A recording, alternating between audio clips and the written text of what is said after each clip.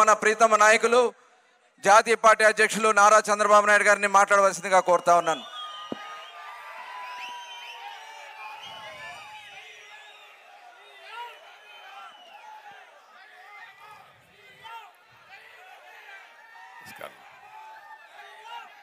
ఓకేమ్మా గౌరవనీయులు సభాధ్యక్షులు కొల్లు రవీంద్ర గారు తెలుగుదేశం పార్టీ రాష్ట్ర అధ్యక్షులు గౌరవనీయులు అచ్చెంనాయుడు గారు గౌరవనీయులు తెలుగుదేశం పార్టీ పాలిట్ బ్యూరో సభ్యులు ప్రతిపక్ష నాయకులు శ్రీ యనమల రామకృష్ణ గారు. ఈ యొక్క బీసీ అవుట్ రీచ్ కోసం జైహో బీసీ కింద ఏర్పాటు చేసిన ఈ కార్యక్రమానికి కోఆర్డినేటర్గా పనిచే చైర్మన్గా పనిచేస్తున్నటువంటి పీతాని సత్యనారాయణ గారు వేదికపై నుండే తెలుగుదేశం పార్టీ అగ్ర నాయకత్వానికి ఈరోజు జి బీసీ జైహో బీసీ కార్యక్రమాన్ని ప్రతి ఒక్క ఇంటికి తీసుకెళ్ళడానికి సమర్థవంతంగా ప్రజా చైతన్యం తేవడానికి ఇంత పెద్ద ఎత్తున చాలా ఓపికగా మిమ్మల్ని పరీక్షించారు కానీ మన వాళ్ళందరూ మీలో మాత్రం చాలా ఓపిక ఉంది. దీనికి మనస్ఫూర్తిగా మిమ్మల్ని అందరినీ అభినందిస్తున్నా. ఉదయం పది గంటలకు ఎంత ఉత్సాహం ఉందో మధ్యాహ్నం రెండు గంటలకు కూడా అదే ఉత్సాహంగా ఉన్నారంటే అది మీ పట్టుదల. దానికి మనస్ఫూర్తిగా అందరికీ అభినందనలు శుభాభినందనలు. ఒక హిస్టారికల్ కార్యక్రమానికి శ్రీకారం చుట్టాము ఈరోజు. మళ్ళీ ఒక చరిత్ర తిరగ రాయడానికి మనందరం ఇక్కడ సమావేశమయ్యాం. ఇప్పుడే కొల్లు రవీంద్ర గారు చెప్తూ రాబోయే నలభై రోజుల్లో ఏ ఏ కార్యక్రమం చేయాలి ఏ విధంగా మీరందరూ ప్రజల్లోకి వెళ్ళాలి ప్రజల్లో చైతన్యం ఎట్టజేవాలో చాలా స్పష్టంగా చెప్పారు. ఇప్పుడే కరీముల్లా అయితే బీసీ సాంగ్ కూడా చాలా బాగా చేశారు. ఆయన్ని కూడా మనస్ఫూర్తిగా అభినందిస్తున్నా మంచి సాంగ్ తీసుకొచ్చారు. అది చూసిన తర్వాత నాకు అనిపించింది బీసీలకు లేని నైపుణ్యం ఏంటని అడుగుతున్నా బీసీల్లో లేని నాయకత్వం ఏంటని అడుగుతున్నా. ఇన్ని ఉన్నాయి ఏ పని కావాలన్నా సమాజానికి ఆ పని చేసేది మా బీసీలే తప్ప వేరే వాళ్ళు కానే కాదు. ఎవరన్నా ఒక మనిషి అందంగా తిరగాలంటే శుభ్రంగా ఉండాలంటే ఆ బట్టలు ఉతికేది కూడా బీసీలే. ఇంకొక పక్కన ఎవరైనా అందంగా ఉండాలంటే హెయిర్ కటింగ్ కూడా చక్కగా చేసేది మా బీసీలే. దేవుణ్ణి ప్రార్థించాలంటే దేవుడు ఎట్టున్నాడో చూడాలంటే ఆ కార్యక్రమం కూడా చేసేది మా బీసీ శిల్పులే. మీరు ఉండడానికి ఒక అందంగా ఇల్లు కట్టాలంటే ఎవరు కడతారు ఆ ఇల్లు అంటే అందులో కూడా బీసీలే మొత్తం వీళ్ళే ఉంటారు ఇంకెవరు లేరు. ఒక వడ్రింగ్ కావచ్చు ఒక కార్పెంటర్ కావచ్చు లేకపోతే ఒక మేషరీ కావచ్చు అందరూ బీసీలే ఉంటారు అందరూ కూడా. అంటే మనం అందరం ఒక విషయం ఆలోచించు ఒక పెళ్ళి జరగాలన్నా ఒకప్పుడు ముందుగా గుర్తొచ్చేది నేరుగా స్వర్ణకారుడే గుర్తొస్తాడు. ఫస్ట్ ఆర్డర్ ఇచ్చేది మంగళ సూత్రానికి ఆర్డర్ ఇచ్చిన తర్వాతనే పెళ్ళి కార్యక్రమాలు ప్రారంభించేవాళ్ళం. అంటే ఇవన్నీ కూడా మీరు గుర్తుపెట్టుకుని ఒకసారి ఆలోచించాల్సింది. జనాభాలో యాభై శాతం బీసీలు. అనునిత్యం ఏ కార్యక్రమం కావాలన్నా ఆ కార్యక్రమాన్ని జయప్రదం చేసేది బీసీలు.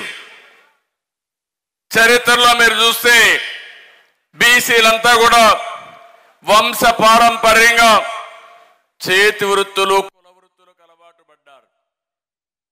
కొంతమంది కుల వృత్తులు చేశారు. కొంతమంది చేతి వృత్తులు చేసి చేనేత కమ్మరి కుమ్మరి వడ్రంగి ఏ కులమైనా తీసుకున్నా ప్రతి ఒక్క కులం ఒక కార్యక్రమం చేసుకుంటూ ముందుకు పోయారు. దీనివల్ల మీరు ఒక్కసారి ఆలోచిస్తే పనులన్నీ చేశారు కానీ మీకు రాజకీయ ప్రాధాన్యత లేదు ఆర్థిక వెసులుబాటు లేదు. అందుకే మొట్టమొదటిసారిగా ఎన్టీ రామారావు గారు వచ్చిన తర్వాత బీసీలకు న్యాయం చేసిన ఏకైక నాయకుడు ఏకైక పార్టీ తెలుగుదేశం పార్టీ. అక్కడి నుంచి ప్రారంభమైంది. ఆయన ఒకటే చెప్పారు మీలో వెన్ను దట్టి లేపారు. బీసీలకు అండగా ఉంటానని భరోసా ఇచ్చారు. మీ కష్టాలు అర్థం చేసుకుని కార్యక్రమాలు చేపట్టిన మహానాయకుడు ఎన్టీ రామారావు గారు. అక్కడి నుంచి మనం ఒకసారి చూస్తే రాజకీయ చైతన్యమే కాదు రాజకీయాల్లో ప్రాధాన్యత ఇచ్చారు. ఆ రోజు మీరు ఒక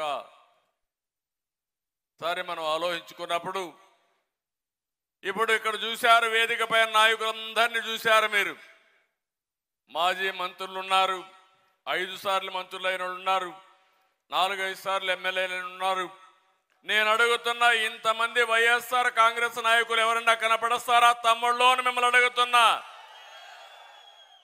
అది తెలుగుదేశం పార్టీ విశిష్టత. అది తెలుగుదేశం పార్టీ బీసీలను పైకి తీసుకొచ్చిన విధానం. ఈరోజు ఏ రాజకీయ పార్టీనో చూడండి. నాయకుడిని పెంచరు.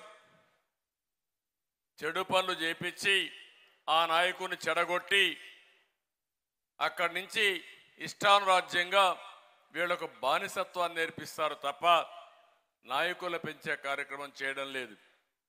అందుకే మీరు ఒక్కసారి చూస్తే ఎమ్మెల్యేలుగా ఎంపీలుగా మంత్రులుగా దీర్ఘకాలికంగా నాయకత్వాన్ని తయారు చేసిన పార్టీ తెలుగుదేశం పార్టీ.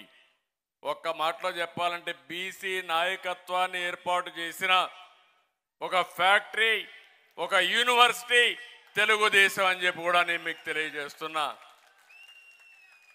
ఇక్కడి నుంచి ఇంకొక పక్క మీరు ఆలోచిస్తే స్థానిక సంస్థల్లో మన నాయకుడు ఎన్టీ రామారావు గారు ముఖ్యమంత్రిగా ఉన్నప్పుడు ఇరవై పర్సెంట్ రిజర్వేషన్లు పెడితే నేను వచ్చిన తర్వాత దాన్ని ముప్పై నాలుగు శాతం రిజర్వేషన్లు పెంచి తద్వారా కొన్ని లక్షల మందిని నాయకులుగా తయారు చేశాం.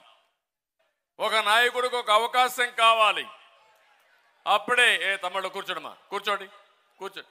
అప్పుడే ఆ నాయకుడు తన ప్రతిభని చూపించే అవకాశం వస్తుంది. అవకాశం రాకపోతే ఏ నాయకుడు కూడా నాయకుడిగా చలామణి కాలేరు. నాయకత్వ లక్షణాలు పెంచుకోలేరు. ఈరోజు మీరు చూస్తే ఈ ప్రభుత్వం వచ్చిన తర్వాత ముప్పై నాలుగు శాతం స్థానిక సంస్థల్లో ఉండే రిజర్వేషన్ని ఇరవై నాలుగు పర్సెంట్ చేశారు. అంటే పది పర్సెంట్ తగ్గించేశారు. పదిహేడు వేల మంది మనకుండే స్థానిక సంస్థల్లో ఉద్యోగాలు పోగొట్టుకునే పరిస్థితికి వచ్చారు. ఈరోజు ఇక్కడ ఇద్దరిని మహనీయులకు మనం దండలేసి నివాళులర్పించాం. ఒకటి పూలే గారు రెండు ఎన్టీ రామారావు గారు. ఈ దేశంలో వెనుకబడిన వర్గాల్ని ముందుకు తీసుకొచ్చింది పూలే గారు ఆలోచిస్తే ఆ తర్వాత ఆచరించింది నందమూరి తారక రామారావు గారు అని చెప్పి కూడా నేను మీకు తెలియజేస్తున్నా. ఆ తర్వాత మీరు ఒకసారి ఆలోచిస్తే నేను వచ్చిన తర్వాత కూడా నేను ఒకటే ఆలోచించాను. ఆర్థికంగా మిమ్మల్ని ఏ విధంగా పైకి తేవాలో ఆలోచించాం. మన నాయకుడు కూడా ఎన్టీ రామారావు గారు ఉన్నప్పుడు ఏ ఏ పని మీరు చేస్తారు వృత్తి పనులు? ఆ వృత్తి పని కూడా ఏ విధంగా చేస్తే మీ ఆదాయం పెరుగుతుందో అలాంటి పనులన్నీ ఇచ్చారు. వడ్డెర కులస్తులకైతే ఆ రోజు నాకు బాగా జ్ఞాపకం.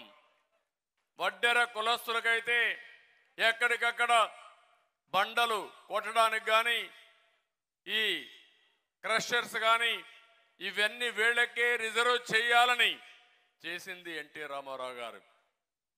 ఇంకో పక్క మీరు చూస్తే ఈరోజు దోబీలు ఉన్నారు రజకులు ఉన్నారు రజకుల కోసం ప్రత్యేకంగా ఘాట్లు కట్టించి ఆధునీకరణకు నాంది పలికింది తెలుగుదేశం పార్టీ న్యాయంలోనే పలికాం.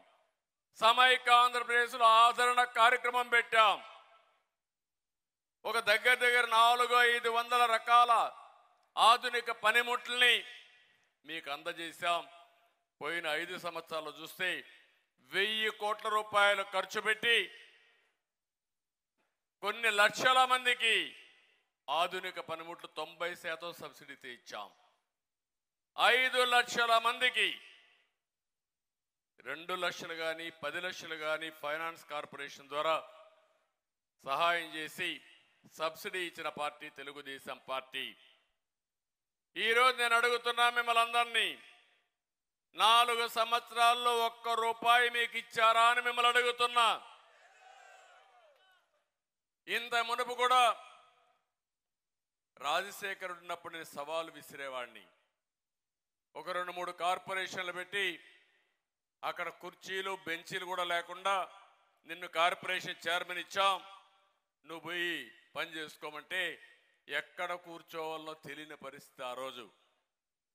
ఈ రోజు కూడా మనం కార్పొరేషన్ మీరు చూస్తే నూట ఇరవై ఐదు కులాలకి ఆర్థిక సహాయం చేసిన పార్టీ తెలుగుదేశం పార్టీ.